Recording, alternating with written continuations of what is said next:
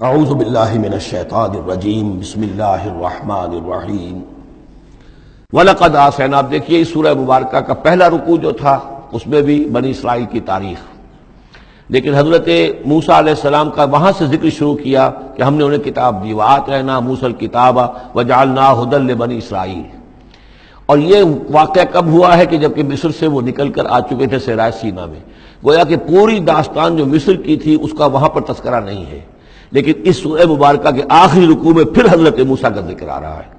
ये गोया कि खास उसलूब है इस कुरान मजीद की सूरतों का खास तौर पर जो सूरतें के एक ही वक्त में, खुतबे की शक्ल में नाजिल हो, उनकी एक तो यह कि इब्तदाई और आखिरी आयात जो है, उनकी एक खसूसी अहमियत और फजीलत होती है। और दूसरा ये कि उनके अंदर खास रब्त होता है। तो बनी इसराइल की तारीख के बाद के अदवार वहाँ आए हैं, लेकिन जो मिस्र के अंदर उनके साथ हुआ है, उसका ज़िक्र अब यहाँ हो रहा है। वलकद आते ना मूसा किसा आयातिन मैनात और हमने मूसा को नौ निशानियाँ दी थी रोशन। दो निशानियाँ तो वो थी कि जो वो अव्वलीन मरहले पर अल्लाह ताला ने उनको दी थी। यानी ये कि एक आसा जो कि वो सांप बन जाता था या असदा बन जाता था, और दूसरे उनका वो हाथ के जो चमकने लगता था। उसके बाद सात निशानियाँ उनको जो और दिखाई गई मुख्तलिफ़ अवकात में, उन पर जो आजाब आए, और हज़रत मूसा के दुआ करने से फिर वो वक्त पर टल जाते रहे। तो उनमें से सिनीन नक्स मिनट सबरात तूफ़ान जराद यानी टिड्डी दल कुम्मल चिचड़ियाँ जफादे, यानी मेंढक, और खून की बारिश, ये तमाम जो है, ये सूर्य आराफ के अंदर तफसील गुजर चुकी है। लकद आते ना मूसा किस आयातिन बैनातिन फ़सल बनी इसराइल इसजा हूँ तो जरा पूछ लो इन बनी इसराइल से कि जब मूसा उनके पास आए, फ़काल लहू फ़िरौन तो फ़िरौन ने उनसे कहा, इन्नी लाजुन का या मूसा मशहूरा, कि मैं तो ये समझता हूँ कि मूसा तुम पर कोई जादू हो गया है। अब देखिए, यही लफ्ज आया यहाँ पर जो हुजूर के बारे में सूरत में आया है। इन तत्तबेना रजलम मशहूरा तुम नहीं पैरवी कर रहे हो, मगर एक ऐसे शख्स की जिसके ऊपर शहर हो गया है। यही बात कही गई थी हज़रत मूसा से। फिरौन ने कहा, इन्नी लाजुन का या फिरौन मशहूरा। ए फिरौन, मैं तो ये समझता हूँ कि तुम पर जादू हो गया है। काला लकद अलिम तमान रबुसमावत लर्द अब ज़ाहिर बात है कि ये हज़रत मूसा सलाम है, वैसे भी जलाली मिजाज था इनका। फिर ये फिरौन जिससे ये मुकालमा हो रहा है, उनके छोटे भाई के मानंद भी था तो उससे उसी अंदाज में बात कर रहे हैं, उसमें तनतना वही है। लकद अलिमता, तुझे खूब मालूम है मान रहा उलाए, नहीं उतारा है निशानियों को, इल्ला रब्बु समावात वल्लर्द मगर उसी ने कि जो आसमानों और ज़मीन का मालिक है, बसाइर, सुझाने के लिए, दिखाने के लिए, तुम्हारी आँखें खोलने के लिए, व इन्नी लाजूनों का या फिर मसबूरा और फिर तू तो समझता है कि मुझ पर जादू हो गया है। अब मैं ये समझता हूँ कि तू तबाही और हलाकत के किनारे तक पहुँच चुका है। अब तेरी बर्बादी और तेरी हलाकत यकीनी है। फारादा यस्तफिज तो फिरौन ने इरादा किया कि उन्हें उखाड़ फेंके ज़मीन से। यानी जो भी उसने शक्ल इख्तियार की थी कि लड़कों को कत्ल करो और लड़कियों को ज़िंदा रख लो, ज़ाहिर बात है, कौम के इस्तीसाल का और उसको ख़त्म करने का इससे और ज़्यादा उमदा ज़रिया क्या हो सकता है? फ़ागरक ना हो हुआ मम्माहू जमिया तो गर्क कर दिया हमने उसको और उसके जितने भी लोग उसके साथ थे उन सबको। वकुल्ला मिनबाद ही बनी इसराइल अस्कुलर्द और फिर हमने कह दिया बनी इसराइल से इनके, उसके बाद कि अब ज़मीन में तुम आबाद हो जाओ। फैज़ा जा वादुल आखिरत जेना बिकुम लफीफ़ा। जब फिर अगला वादे का वक्त आएगा, पिछले वादे का वक्त आएगा तो हम ले आएँगे तुम्हें सबको समेट कर यह वादुल आखिरत से मुराद अक्सर व बेशतर तो लिया गया आखिरत का होता जब क्यामत आएगी। यानी तुम ज़मीन में रहो क्यामत आएगी तुम सबको हम झाड़ू फेर कर जमा करेंगे सबके सब जमा होंगे एक मैदान हशर में आएँगे सबके सब जमा हो जाएँगे जैसे कि कहीं जो है वो बा, बाग में जो है झाड़ू दी जाती है और सबको जमा कर लिया जाता है तिनको वगैरह को जे ना बिकुम लफीफा तुम सबको लपेट कर ले आएँगे। लेकिन मेरा गुमान यह है कि इसके अंदर इशारा है इस बात की तरफ़ कि जो डायस्पोरा का पीरियड जो चल रहा था बनी इसराइल की तारीख का जो शुरू हुए हुए हुजूर की बेसत के वक्त जो है, पाँच सौ बरस हो चुके थे। और जब यह सूरत नाजिल हो रही है तो गोया के साढ़े पाँच सौ बरस हो चुके थे उनके डायस्पोरा को। इसलिए कि चालीस बरस की उम्र में तो हजूर पर वही शुरू हुई है, और कम से कम दस दस बारह साल और बीत चुके हैं। साढ़े पाँच सौ बरस से वो निकाल दिए गए थे सरजमीन फ़िलिस्तीन से, और वो मुंतशिर हो गए थे पूरी ज़मीन में, कोई कहीं कोई कहीं कोई कहीं। लेकिन इशारा किया जा रहा है कि जब आखिरत का वक्त करीब आएगा तो तुम सबको समेट कर ले आएँगे, जैसे कि आज उनको झाड़ू फेर कर पूरी दुनिया में यहूदियों को फ़िलिस्तीन में जमा किया जा रहा है। इसलिए कि इनका जो आखिरी जो अंजाम है, जिस सज़ा के ये मुस्तक हो चुके थे हज़रत मसीह को रद्द करके, और जिस सजा की मजीद तोसीक हो गई, जबकि इन्होंने हजूर पर भी ईमान लाने से इनकार कर दिया। तो अब ये कंडेम्ड प्रिजनर्स के मानंद हैं कि अब इनकी सजा तो हो चुकी है, लेकिन उसकी एग्जीक्यूशन अभी बाकी है। वो एग्जीक्यूशन जो है, और करीब वो वक्त आने वाला है कि जब इनकी एग्जीक्यूशन होगी। और ज़ाहिर बात है, पूरी दुनिया में फैले हुओं के लिए वो एग्जीक्यूशन जो है, उसके बजाय बेहतर शक्ल यह कि इनको समेट कर ले आया जाए। तो दर हकीकत ये ग्रेटर इसराइल का क्याम जो भी हो रहा है इसराइल तो कायम हो गया है, और एन मुमकिन है कि ग्रेटर इसराइल भी कायम हो जाए, जैसा कि उनका नक्शा है।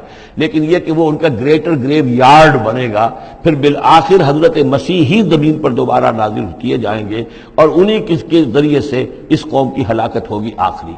तो जब वो वक्त आएगा कयामत के वादे का तो फिर हम तुम्हें ले आएँगे, समेट कर। पूरी दुनिया में से झाड़ू फेर कर तुम्हें सबको एक जगह जमा कर लेंगे। वल्ला आलम। अब इसके बाद फिर इस सूरह मुबारक के आखिरी आयात में कुरान मजीद का तस्करा जो है, बड़े शानदार अल्फाज में है। वह बिल हक अंजल ना हो वह बिल हक नजल। इसको तो जब तक इस तरह ज़ोर देकर ना पढ़ा जाए तो इसका जो असल जो है, इसका असर वो ज़ाहिर नहीं होता। इस कुरान को हमने हक के साथ नाजिल किया है और यह हक के साथ नाजिल हुआ है। यह बिल्कुल ऐसे ही है जैसे कि सूरत तारिक में है।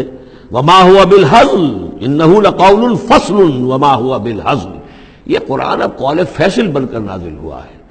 जैसे कि हजूर ने फरमाया, हज़रत उमर रज़ी अल्लाह तरावी है इन अल्लाह यरफा बिहादुल किताब अकवामन व यदा बही आखरीन। अब अल्लाह ताला इसी किताब की बदौलत कौमों को उठाएगा, मुसलमानों को उठाया, उरूज पर पहुँचाया। और अब हम मुसलमानों ने उसे तर्क कर दिया तो हमें ज़मीन पर गिरा दिया है। खार अज महजूरी कुरान शुदी शिकवत संजय गर्दिश दौरा शुदी ए तो शबनम बरजमी उफ्तंदई, दरबगल दारी किताब ज़िंदगी वबिल हक अंजल ना हो वबिल हक नजल वमा अरसलना मुबशरम व नजीरा। और नबी हमने नहीं भेजा है आपको, मगर बशारत देने वाला और नजीर बनाकर, खबरदार करने वाला। वह कुरान फ़र्क ना हो और यह कुरान जो है इसने हमने टुकड़े टुकड़े करके भेजा है थोड़ा थोड़ा करके भेजा है। एकदम पूरा नहीं उतार दिया है। ले तकरा से अला मुखसिन ताकि आप ये पढ़ें लोगों पर, लोगों को सुनाए पढ़कर, ठहर ठहर कर। हालात के मुताबिक, जिन हालात से कि आपकी दावत और तहरीक गुजर रही हो, उसी की मुनासबत से आयात नाजिल हों। सबका रसूलों के हालात में से भी जो वाकयात के उस दौर के साथ मुनासबत रखने वाले हैं, उन्हीं का तस्करा किया जाए। व नजल ना हो तंजीला, और हमने इसको उतारा है थोड़ा थोड़ा करके। कुल आमिनू भी औलात मैनू नबी कह दीजिए, तुम इस पर ईमान लाओ, खाना लाओ। इन लजीना गुतुल इल्म मिन कबल यकीन वो लोग जिन्हें इससे पहले इल्म दिया गया था। इजायुतला जब ये कुरान उनको पढ़कर सुनाया जाता है या खिरून अलिस्तान सुजदा तो वो अपनी एड़ियों के, अपनी थोड़ियों के बल सजदे में गिर पड़ते हैं। वह यकूलून और कहते हैं सुबहान रबना ये यकीन होंगे, जब कुरान ये कह रहा है तो यहूद के उलमा में से उस वक्त जब तक कि बराह रास्त जो कन्फ्रंटेशन नहीं हुई थी, हजूर अभी मदीने नहीं आए थे दूर दूर से खबरें आ रही थी तो बाद लोग होंगे कि जो दिल के अंदर उनके ये नेकी के जज्बात जो है, वक्ती तौर पर उठे, उभरे। और उन्होंने कुरान मजीद को पहचान कर फिर यह कि वह सज्जे में गिरे अल्लाह के सामने। वह यकूलून, सुबहान रबना इनकान वाद रबना मफूला और वह कहते हैं, पाक है हमारा रब। और यकीनन, हमारे रब का वादा तो पूरा होकर रहना ही था। अल्लाह का तो वादा था। अल्लाह ने कहा था कि एक आखिरी नबी मैं भेजूँगा। अल्लाह ने कहा था, उसके मुँह में अपना कलाम डालूँगा। यह किताब इस्तना जो है, इलेक्ट्रॉनमी, उसका बाब जो है, एटीन, उसकी अट्ठारह और उन्नीसवीं आयात के अंदर है। कि मैं इनके भाइयों में से, ए मूसा, तेरे मानिंद एक नबी उठाऊँगा। इनके भाइयों में से, बनी इसराइल के भाई, बनी इस्माइल। उनमें से तेरे मानिंद एक नबी उठाऊँगा और उसके मुँह में अपना कलाम डालूँगा और वो लोगों से वही कुछ कहेगा कि जो मैं उसे बताऊँगा। अब उसकी मिस्ताक आ गया। इनका अनवाद रब बिना मफरूला। यकीन हमारे रब का वादा तो पूरा होना ही था। वह यखिलून असकान यबकून और वह गिर पड़ते हैं अपनी ठोड़ियों के बल रोते हुए। वह यजीद हम खुशू आ और उनके अंदर खुशू और खजू के अंदर इजाफा हो जाता है। आयत सजदा है, सजदा कर लीजिए। अजीम ख़जाने हैं मारफत खुदाबंदी के और तोहद रब्बानी के। इसी तरह की दो आयात आएँगी सूरह कहफ के आखिर में। उलिदुल्लाबिदुलरहमान कहो कि चाहे अल्लाह कहकर पुकार लो और चाहे रहमान कहकर पुकार लो। अय्यम्मा तदू जिससे तुम पुकारो, फलहुल असमाउल हुस्ना।